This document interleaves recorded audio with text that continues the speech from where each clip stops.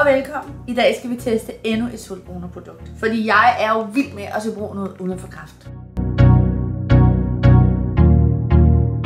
Det her har jeg læst op på øh, Anne Christines blog, Beauty Base, tror jeg den hedder. For jeg følger andre blogs også, og der så jeg den her.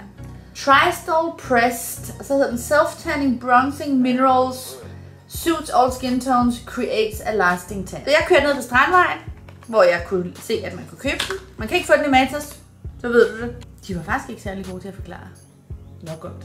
Der var både den her, som er en pressed, så findes den i løs puder, og så findes den også som creme. Der er sådan en lille instruktionsleaflet her. Nu har jeg ikke taget mine briller på, så hvis jeg sidder og gør sådan her, så ved du hvorfor. Så skal man tage moisturizer på, så det gør jeg lige. Der står, at man kan tage moisturizer eller foundation. Det giver ikke mening.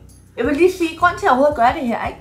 Jeg er jo spraytan, man kan se, at jeg lyser i hovedet. Fordi man jo renser af og sveder og så videre, så ryger den hurtigt. Så du kan godt se, at jeg er meget brunere her og på armene, end jeg er på hænderne og på ansigtet. Så, moisturizer, Swift onto cheekbones. Og jeg skal gøre sådan her.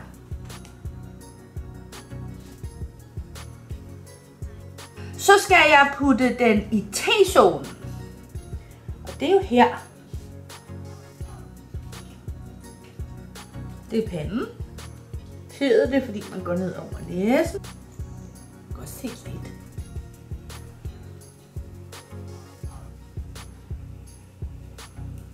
Okay, lad os lige være helt honest med hinanden her.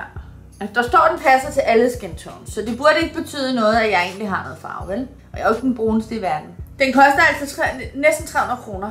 En bronzer kan du få for hvad? 79 ml, ikke? En eller anden eller Gosh. Jeg er glad for Gosh bronzer. Det er en ret dyr puder. Nu, nu der, der står det her til sidst, når jeg så har gjort det der med cheekbones og jawline osv. Apply more to cheekbones for contouring. Altså, du kan godt se, at jeg slider lidt, ikke? For, for det her. Jo, jeg er mega skuffet.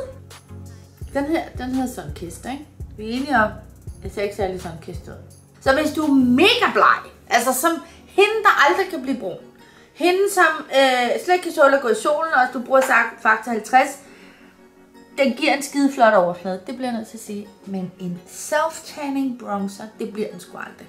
Så hvis du har lyst til at få pæn, ikke særlig brun hud, så kan du bruge den. Jeg siger jo min ærlige mening, og det gør jeg altid. Jeg har selv været nede og købe den her for min egen penge. Og den øh, lever ikke op til det, den skulle. Om du har lyst til at købe den, fordi du kan se, at den giver en flot hud, og du måske er meget, meget, meget, meget videre end mig, og bare vil have lidt farve. Go ahead, held og lykke med det. Men øh, jeg holder mig til min spraytan og min øh, billige bronze fra Matas. Og så håber jeg, at du får en dejlig sommer, og jeg håber, at du bliver brun på den sunde måde.